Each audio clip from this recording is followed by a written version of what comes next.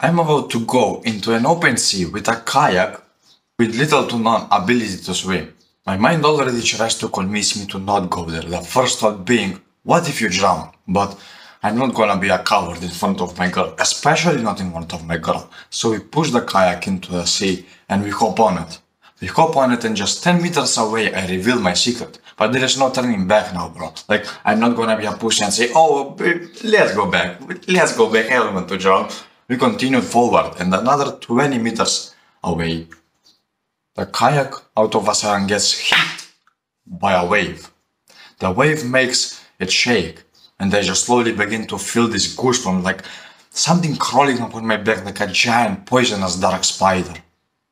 And I just look down and I see an endless dark blue abyss the feeling gets even worse. And thanks to it, the kayak starts shaking even more. My courage, my willpower slowly diminishes to complete zero, and the kayak starts shaking even more and more. But all of a sudden, I feel something strange and familiar from far deep within my brain. I try so hard to remember what this thing is, and out of a sudden, I feel goosebumps all over my body as something just screams to every cell of my body. Courage is calling, and be a fucking man. Out of a sudden, I come back to my calm self again. The kayak stops shaking all completely and we continue forward. Just 20 minutes later, I already learned the kayak completely. We were there flying across the sea and I had only one thought in mind. Let's go even faster. And as the trip was slowly going to a roundup, we slowly approached the shore. And before we land, I just casually say to my girl, let's go for a swim. A guy, that previously had no idea how to swim. My name is Christian and my vision, my purpose is to help out young men choose the right path for them. In this video, I'm going to teach you everything I know about courage. For this video specifically, I have read an entire book about courage named Courage is Calling by Ryan Holiday. This book was an amazing guide to unlock the hidden potential of courage. I had an amazing time just reading through this book and I can bet for a fact that you will have an amazing time listening to this video as well. But in order for this video to be impactful and actually life-changing for you, I will need your full attention. So whatever you're doing right now, either finish it or leave it for later and give this video your full attention. Section 1. What exactly is courage? Courage, some people may call it bravery, and all of us have some kind of imaginary picture of what it is. Before I started researching, I had this vague imagination inside my head of what courage actually is. And I had this imagination of some weird, big, muscular guy with a spear in his hand going into battle. A picture that many people have nowadays. But I was proven wrong, you see. Courage exactly isn't a famous way to go off this earth. Courage isn't some way to die. Courage isn't something only for the chosen ones, and certainly isn't genetically inherited. Courage is a skill, a skill for everyone, including you. Section 1.1 Is courage only experienced on a battlefield? No, it exists in many forms, the most famous one being the battle or known as physical courage, the second one being the strength to speak up or mind courage, the third one, the courage to go ahead and do the unconventional thing, also known as the courage to be different. The fourth one, the courage to be a hero. And the fifth one, the courage to stare death into its eyes and happily die in the face of our Creator, God, also known as self-transcending courage. And many more. You see, courage is present in everything you do throughout your life. From little things as deciding what food to eat today, to big things as saving a whole damn country. Since you may not understand courage, let's go over a few questions until you understand them. Section 2 Is courage only for the gifted ones? You may have this limiting belief inside you that actually courage is only for the genetically gifted ones. Well, that is a cope. Courage isn't a gift, and courage certainly isn't something that is genetically inherited. Courage is a skill, and you know how skills work. For example, in a video game, how many times did you have to go through so many trials and errors until you mastered the skill? How many hours did you have to spend in, in the training ground until you were able to fire a fireball or some cool skill that you wanted to unlock? How many stamina, coins, points, everything that you needed to invest? How many of those things that you invest in this skill until you eventually finally learned it? and now it basically has become your basic attack. Well, courage is the same thing. In the beginning, it will be hard, it will be super hard as you train it. But as you get slowly but surely better and better at it, you will eventually feel it as a second nature to your own self. Section 3. Why is courage even useful? A good question. You see, like ice and fire counter each other, night and day counter each other as well. And courage and fear in some way counter each other as well. You will either be brave and courageous to do the right thing, to step up for yourself and do the right thing that everyone expects from you, or you will be this crazy little coward who sits like a little spider inside his corner in safety, just waiting for somebody else to do the right thing. It's your choice. And now you make it this idea of, okay, so if I'm courageous, I will never experience fear ever again. Well, quite on the contrary. Those who were most courageous were also the most scared ones as well. But they push through this fear because once fear, love, anger, and so many other emotions gets mixed up together, your body and mind knows that there is nothing to be waiting for. It's time to do the right thing. Both your body and mind are prepared and you're ready to be courageous. This is what you call courage, those goosebumps that you get out of a sudden whenever you see something unholy happening before you, something that isn't supposed to happen before you, something that you want to stop, those goosebumps that you get, that is courage. You feel scared, you feel angry, but you also feel the need to save this person out of pure love. That is why between a whole country of discouraged Greeks, Leonidas and his 300 men decided to go ahead and fight Keep in mind that these guys, these men, actually had at least one son and a wife waiting for them back home, and they could have easily left Greece and saved themselves, but they didn't. They stayed there and fought out of pure love for the Greeks. They went there knowing the danger and they happily died in order to save this country. That is why courage is useful. 3.1 When is the right time to be courageous? The right time is now. You see, don't wait for anything to be accomplished in your life first. If you are scared to do a specific, maybe financial move inside your life, maybe you want to start a new business career that you for a fact know will save you and your family from years of suffering.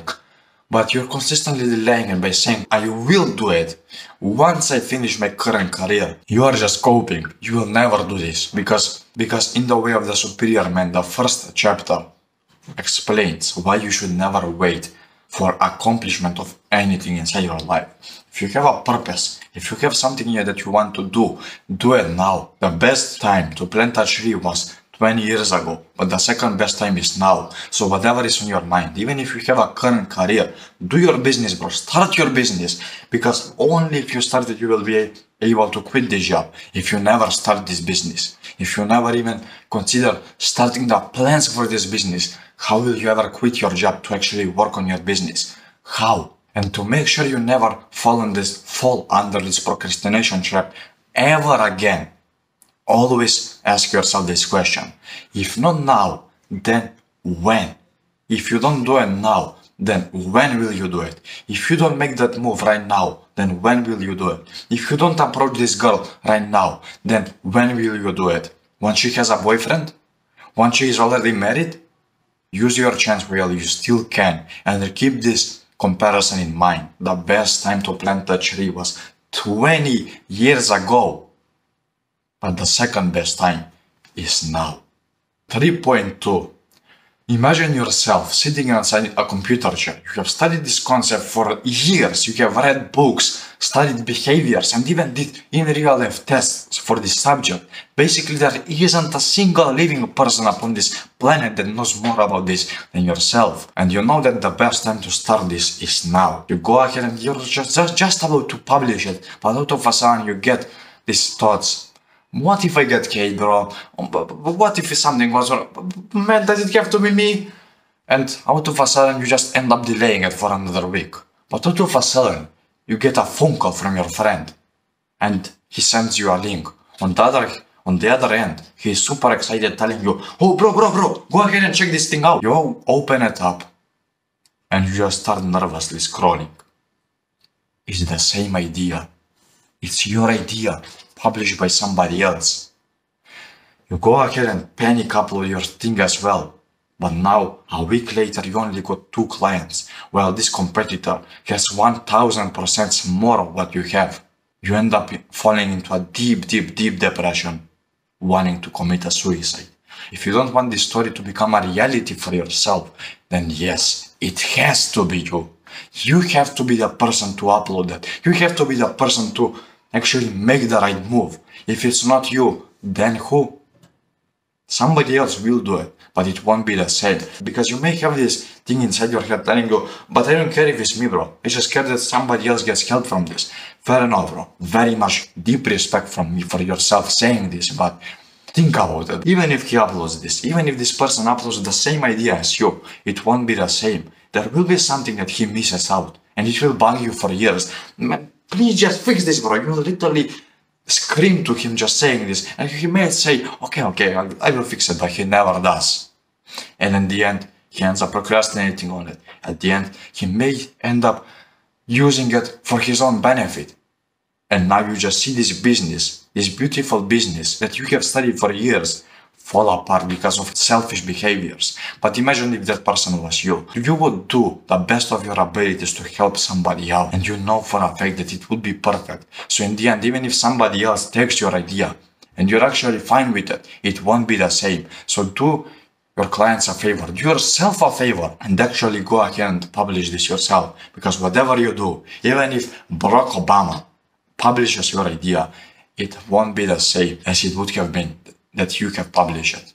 So publish it now, do the thing now, and it has to be you. Section 4. Isn't courage reckless though? Courage never was without danger. There certainly were people who even died because of it, like Leonidas and his 300 men. They died, but for a greater cause. And I will admit that there were a few cases where people actually died for a selfish reason. Like, if your reason to be courageous is to jump in front of a bullet to save a friend, I will happily just get up and bow down in front of you out of respect. But if your reason to be courageous is to simply impress a girl by fighting a snake, which wouldn't even attack you in the first place, well then bro, in the first place, I would be, I would feel very sorry for you in the first day. But you can bear bro, just one day later, I would be here saying, you know, this guy, bro, this guy was kind of stupid. So yes, courage is reckless. Courage can be reckless and courage can be dangerous. But since you are watching a video like this one, bro, I believe that you have some brain cells. I believe that you actually have a brain that is capable of thinking. And I believe that you can defer whether a reason is worthy to fight for or actually a reason is just selfish and not even worth your time. So if the reason is worthy, go ahead and do it. There certainly are risks to be the only one that raises a hand against somebody when everybody in class is just sit, sitting silent. There will be a problem whenever you try to separate few people from a fight. There will be a problem whenever they ask you uh, your opinion and you end up saying something completely unconventional. There will be problems. And in some cases there may even be death as well. But if the reason is right, do it. If it's not, you know what to do. Section 5. Can I draw upon courage? The answer is yes. You see, we are the sons of our ancestors. You and me, you and me have Alexander the Great as our granddad. You and I have Leonidas within our blood. You have Spartan blood within you. But you also have the blood from all the cowards in the world as well. So what this basically means, it is up to you, my friend. It is up to you whether you will decide to follow examples like Alexander, like Leonidas, or like Hercules, or whether you will decide to follow examples like Deep Shit Johnny and other people like him. One is good, one is bad, one is courage, one is fear. Leonidas or Johnny. The choice is yours, my friend. Section 5.1 How do you actually draw the courage? You simply remember the cause that they were fighting for. And I specifically say the cause because, for example, if you just remember that they looked pretty cool with the spears and everything, like Alexander the Great or Leonidas and his 300 Spartans look pretty cool with the sword and the spear inside their hands, just going ahead and ruthlessly fighting, you may get a few bursts of energy here and there, but they won't serve you anything. But for example, if you're riding back home and you're on a bike, but you have to get back home so damn quickly because there is somebody waiting for you on a call, it's a client of yours and you simply have to help this client out. You will suddenly get this burst of energy just serving you to get back home even quicker. But if it's still not enough, you can actually draw upon the courage from our ancestors. Just remember the cause that they were fighting for.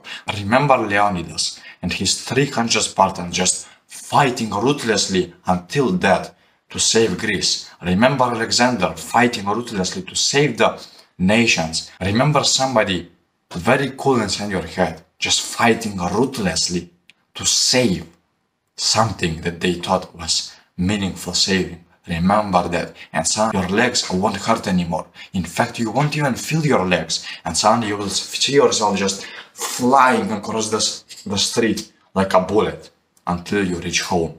That is how you actually draw upon the courage. With our ancestors having shown their examples, we have nothing to use as excuse Courage is here. It's just waiting for you to draw upon it. So use it for the right thing and use it for whatever means a lot to you. Section 6. How can I use courage in my daily life? A very good question. You can basically do a few kinds of exercises throughout your day that will help you level up the skill of courage. For example, you don't hug your mom so often. Well, from now on, since you don't hug her so often, you will hug her every single day. You may have not experienced cold throughout your life entirely. Well, from now on, you will experience 10 seconds of cold shower every single day. Maybe you are even afraid of publishing your work. Well, from now on, bro, you will publish at least one single piece of work online every single day. But as we know, the hard things, as we do them more and more, eventually become easy as well. We get used to them. So once they do, you will need to level them up or actually change them for something else. Instead of just hugging your mom, now you will hug her, but also give her a compliment every single day. Instead of just taking 10 seconds a day of cold shower, now you will expose yourself to cold for 30 seconds. Instead of just publishing one piece of work a day, now you will publish one piece of work a day, but more bigger and actually more valuable piece of work every single day.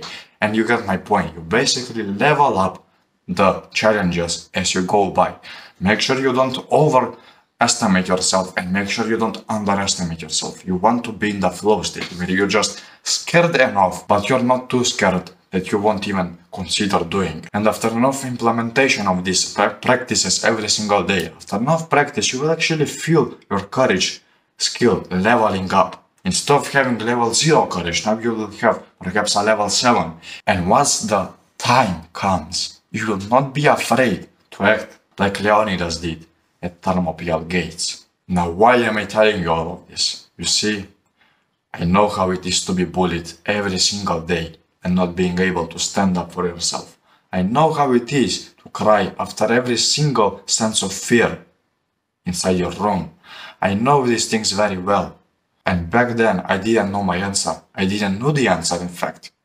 In fact, I never even wanted to have kids back then because uh, for a fact I knew that I wouldn't be able to protect them. I wouldn't be able to even raise them well. But now all that has changed. I joined the karate club. I started lifting weights. I actually grew my muscles. I started saying my mind more openly than before. I know what's right and what's wrong, and now I'm not afraid anymore to be the only one who votes red while everyone else in the room votes blue, because deep down, I know I am right. And if I am not right, and if I am not right, I am willing to learn from it and grow from it even more. Then I read a whole book about courage and met concepts that never even appeared in inside my mind before. And to be honest with you, I wish I had this knowledge five to seven years ago. You can for a fact bet that my life would have been different had I known this back in those days but there is no point in looking back and feeling sorry for yourself anymore. The point I'm trying to make right now is that the things that you learn from this video certainly would help out younger Kiko. Certainly would make his life a lot easier and it will certainly help him out in so many various ways.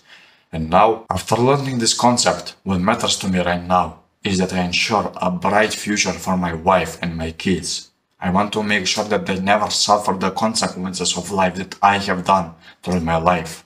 I want them to live a happy and fulfilling life. That is why I am recording this video.